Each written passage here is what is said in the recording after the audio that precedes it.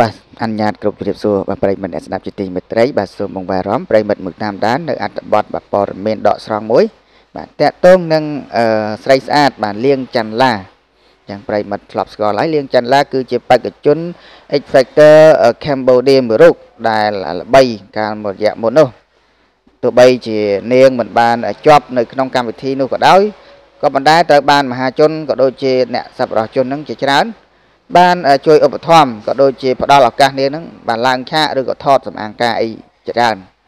បាទឥឡូវនេះបាត់មុខមួយរយៈបាទក្រោយពេលបង្ហោះរូបថតជាមួយនឹងបរិសម្នាក់នេះបាទធ្វើឲ្យអ្នកលេងបណ្ដាញសង្គមនឹងខមមិនបាទពាក្យមិនសមរម្យដូចជាបាទគោហើយអឺសេះហើយនឹងក្របីអីចឹងទៅបាទហើយឥឡូវនេះបងប្រុសម្នាក់ដែលថតជាមួយនឹងលៀងច័ន្ទឡានឹងចេញមុខមក ឆ្លើយវិបកវិញយ៉ាងចាស់ដៃតែម្ដងបាទឥឡូវកុំឲ្យខាតពេលយូរបាទប្រិមិត្តតាមដានអត្ថបទដកស្រង់ដូចតទៅ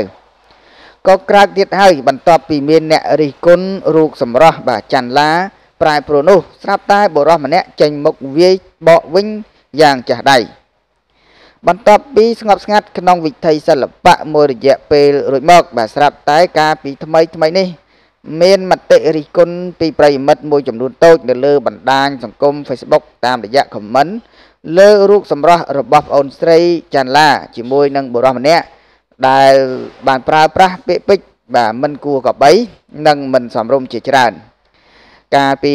មួយរយៈមុននេះបាទក្នុងបណ្ដាញសង្គម Facebook ទាំងមូលហាក់មានការចាប់អារម្មណ៍ជាខ្លាំងចំពោះប្អូនស្រីលៀងចាន់ឡាអតីតបេក្ខ អតីតបេក្ខនារីក្នុងកម្មវិធី X Factor Cambodia បើទោះបីជាមិនទទួលបានជោគជ័យមកក្នុងកម្មវិធីយ៉ាងណាក្តីប៉ុន្តែប្អូនស្រីត្រូវបានបណ្ដាក្រុមហ៊ុនបាទជាច្រើនបានផ្ដល់ឱកាសលឡើងសម្ដែងច្រៀងតាមឆាកប្រគំតន្ត្រីនានានិងថតទៅតាមបាទសំអាងការផ្សេងផ្សេងផងដែរ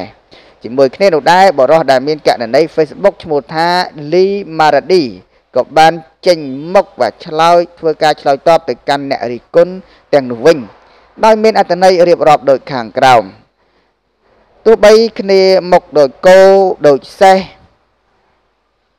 ដូចទាដូចឆ្កែដូចឆ្មាក៏គេមិនបានទៅលួចប្លន់សម្រាប់ឪពុកម្ដាយនិងដុតផ្ទះអ្នកឯងដែរបើមិនចូលចិត្តទេអស់រំលង ឬក៏ប្លុកចោលទៅបាទបើគេដៀល បាទមាក់ងាយប្រដូចមុខអ្នកទៅនឹងសត្វធាតតើអ្នកមានអារម្មណ៍យ៉ាងណាមិញយ៉ាងម៉េចវិញបាទគេដៀលដៀលគេទាំងគេចេះរកលុយដោយខ្លួនឯងទាំងខ្លួនឯងហ្នឹងលាដៃសំលុយឪពុកម្ដាយសោះបាទឲ្យចេះខ្មាស់គេផងណាចឹងគាត់ដាក់អញ្ចឹងណាធ្វើជាមនុស្សសូមឲ្យមានក្រមសីលធម៌ក្នុងខ្លួនបើអ្នកវិញបាទអ្នកខ្លះវិញ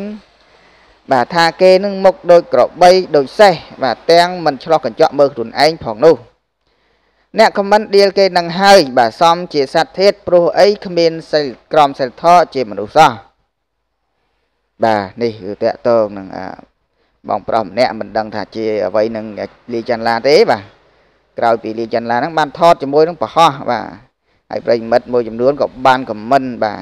សេះជាមួយក៏3 បាទក្របី បាទកូនធំម៉ត់ក្របីឯណាអញ្ចឹងទៅបាទអញ្ចឹងបងប្រុសហ្នឹងគាត់ខឹងដែរបាទក៏ឆ្លើយតបបាទ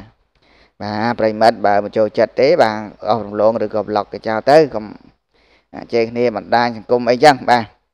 បាទសូមអរគុណនៅអត្ថបទនេះបាទមានកំហុសឆ្គងយ៉ាងណាបាទសូមអភ័យទោស